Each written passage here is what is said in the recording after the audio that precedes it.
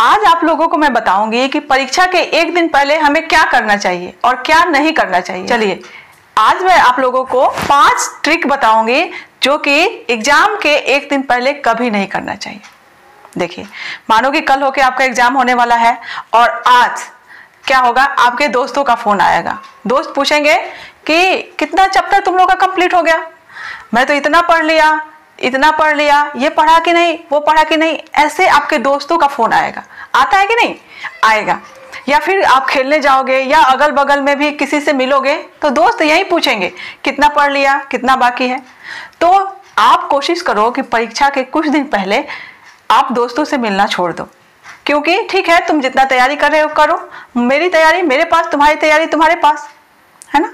जो भी पूछना अपने टीचर से पहले ही आप पूछ चुके हो, आपको सिलेबस पता है कि क्या पढ़ना है, क्या नहीं पढ़ना है। तो फिर दोस्तों से बात करने का कोई सेंस नहीं बनता है और दोस्त आपको डिमोटिवेट करेंगे।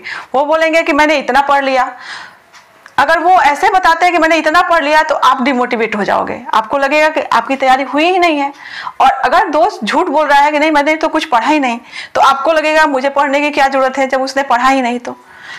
इसलिए बेटा दोस्ती पढ़ाई में नहीं। ठीक है, दोस्ती दोस्ती जो है खेल के लिए सही है, लेकिन जब पढ़ाई आता है, वहाँ थोड़ा सा सेल्फिश बनना आपको ज़रूरी है। तो आप क्या करो, करेगा, है ना? एक बार इंस्टा जाओगे बेटा इंस्टा से फेसबुक पे जाओगे फेसबुक से व्हाट्सएप पे जाओगे, आप एक रूटीन देखने के लिए अपने ऐप पे जाओगे और वहाँ से इंस्टा पे जाओगे फेसबुक पे जाओगे ट्विटर पे जाओगे, कहाँ कहाँ जाओगे, तुम्हें खुद पता नहीं चलेगा, क्योंकि उसका डिज़ाइन ही ऐसा क्रिएट किया गया है कि आपको खींच लेगा। हम लोग बड़े होकर भी डिस्ट्रैक्ट हो जाते हैं। तो आप लोग तो बच्चे हो, आप लोग तो बहुत जल्दी डिस्ट्रैक्ट हो जाओगे ना कोई चीज़ देखकर। इसलिए बेटा, अपने ऊपर थोड़ा सा पेशेंस रखने की ज़रूरत है। नहीं छूना है मतलब नहीं छूना है। क्या हो जाएगा? जिस जमाने में फ़ोन नहीं था, उस जमाने में लोग जी रहे थे कि नहीं? तो कुछ दिन की तो बात है, मैं नहीं देखूँगा। कुछ मैसेज है, कुछ भी है, मैं नहीं देखूँगा। अगर इतना ही है तो फ़ोन को लॉक करके अपने मम्मी को दे दो। मम्मी से तो डर लगता ही होगा सबको, है ना? तो ऐसा करो, मम्मी को दे दो। तो पहला क्या है कि दोस्तों से मिलना, जुलना, कम करो, फ़ोन पे बात करना, उनसे कम करो, है ना? क्या पढ़े हो, क्या नहीं पढ़े हो, सब डिस्कस करना बिल्कुल बंद कर दो, पहला। दूसरा, मोबाइल पे भी किसी से बात करना छोड़ दो, वो क्या बोले फेसबुक इंस्टाग्राम रील्स वगैरह देखना बंद कर दो। दूसरा तीसरा है कि तुम सही डाइट लो बेटा। अगर परीक्षा का दिन नज़दीक आ गया और तुम खूब पनीर, पकौड़ा, तंदूरी ये सब खाओगे तो फिर तुम बैठ नहीं पाओगे। बैठते बैठते पेट में गैस होने लगेगा, जिसकी वजह से आपकी तबीयत खराब हो जाएगी। एग्ज़ाम के टाइम में मैं देखती हूँ, जो बच्चे कभी नहीं पढ़ते हैं, वो भी पढ़ना शुरू कर देते हैं। तो अगर तुम लोग इस टाइप के खाना खाओगे तो बेटा आपसे पढ़ाई नहीं हो पाएगा। बार बार बाथरूम जाना होगा बार बार परेशानी होगी, गैस बनेगा, इसलिए फ्रूट्स खाओ और सुपाच्य खाना खाओ। ऐसा खाना खाओ जो जल्दी आपसे पच जाए। पूरा पेट भर खाना आप नहीं खाओगे। उसके बाद, मैं तो इतना भी कहती हूँ हालाँकि ये बहुत मुश्किल है, बहुत कम बच्चे कर सकते हैं। एग्ज़ाम के टाइम में लहसुन, प्याज खाना भी छोड़ ही देना चाहिए। मीट मछली तो नहीं खाना चाहिए। मसाला तेल नहीं खाना चाहिए, लेकिन अपने मम्मी को बोलो कि मेरा एग्ज़ाम अगर पास में आ गया तो लहसुन, प्याज का खाना बनाना भी छोड़ दे।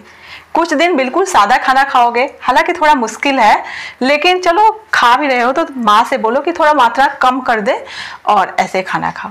और पांचवा है, दूध कम पियोगे, लेकिन पानी ज़्यादा पियोगे। अगर पानी आप अच्छा से पीते हो तो आपका शरीर जो है, इसके वजह से आपको थकान कम लगेगा। लिक्विड ही आप ज़्यादा पियोगे, क्योंकि खाना आपको ज़्यादा खाना नहीं है। तो आप सूप पी सकते हो, जूस पी सकते हो, शरबत पी सकते हो। इस तरह से आप पानी का सेवन ज़्यादा करो, फल का सेवन ज़्यादा करो। इस तरह से ध्यान रखोगे तो और टाइम टेबल के लिए मेरा टाइम टेबल वाला वीडियो ज़रूर देख लेना कि एग्ज़ाम जब नज़दीक हो तो हम अपना टाइम टेबल कैसे बनाएँ। एग्ज़ाम का जो टाइम टेबल होता है बेटा, वो और टाइम टेबल से अलग होता है। तो एग्ज़ाम का टाइम टेबल सब बच्चों को देखना बहुत ज़रूरी है। इसके बाद भी मैं बहुत सारे ट्रिक बताऊँगी जो एग्ज़ाम में आप यूज़ कर सकते हो। बहुत सारे बच्चे हैं जो एग्ज़ाम हॉल में जाके बहुत सारा गलती करते हैं जो कि उन्हें नहीं करना चाहिए। तो उस पर भी मैं वीडियो बनाऊँगी कि एग्ज़ाम हॉल में जाकर आपको क्या करना चाहिए और क्या नहीं करना चाहिए। आप अगर मेरा वीडियो सब्सक्राइब नहीं किए हो तो सब्सक्राइब कर लो, आप अपने सभी दोस्तों के साथ शेयर कर दो। इसके अलावा मैं उन बच्चों के लिए वीडियो बनाती हूँ जो ऊपर क्लास में चले गए हैं, लेकिन बेसिक उनकी नॉलेज नहीं है, जिसकी वजह से वो अपने टीचर से पूछ भी नहीं सकते हैं। कुछ बच्चे गरीब हैं, जिसकी वजह से वो ट्यूशन नहीं ले सकते हैं। तो उन बच्चों के लिए भी मैं वीडियो बनाती हूँ कि बेसिक चीज़ भले ही वो एट नाइन टेंथ कहीं भी चले गए हों, लेकिन उनको बेसिक जो नॉलेज होनी चाहिए, जिसके बाद वो अच्छी तरह से बुक पढ़ सकते हैं, समझ सकते हैं, लिख सकते हैं। मैथ का बेसिक ज्ञान उनको हो जाए इंग्लिश का बेसिक ज्ञान हो जाए, इसके लिए भी मैं वीडियो बनाती हूँ। बेटा तो जो भी आपका दोस्त है, जो पढ़ने में कमज़ोर है, उसको बताना मेरे चैनल के बारे में कि वो सब्सक्राइब करेगा मेरा और मेरा वीडियो देखेगा और उसको जिस तरह की वीडियो की ज़रूरत होगी। अगर उसको सारे टीचर्स पढ़ा के थक गए हों, तब भी मैं उसको पढ़ा सकती हूँ। इतना मैं तुम लोगों के साथ प्रॉमिस कर रही हूँ। मैं चाहती हूँ कि सब बच्चे पढ़ें। जो बच्चे पढ़ाई छोड़ दिए हैं, घर बैठ गए हैं, या किसी कारखाने में काम कर रहे हैं, या किसी कारण से उनको पढ़ने के लिए नहीं मिल रहा है, वो भी मुझे कमेंट करेंगे। मैं उनके लिए स्पेशल वीडियो बनाऊँगी। मैं टीचर हूँ और टीचर का काम होता है सबको पढ़ाना। तो मेरे से जितना हो सकेगा बेटा, मैं करूँगी। टीचर में, माँ में ज़्यादा फ़र्क नहीं होता है। इसलिए आप मेरा वीडियो देखो और आपके लिए मैं कर रही हूँ मेहनत। आपको भी थोड़ा मेहनत करना पड़ेगा, तभी तो बात बनेगी ना। तो मिलते हैं अगले वीडियो में। जय सिया राम, राधे राधे।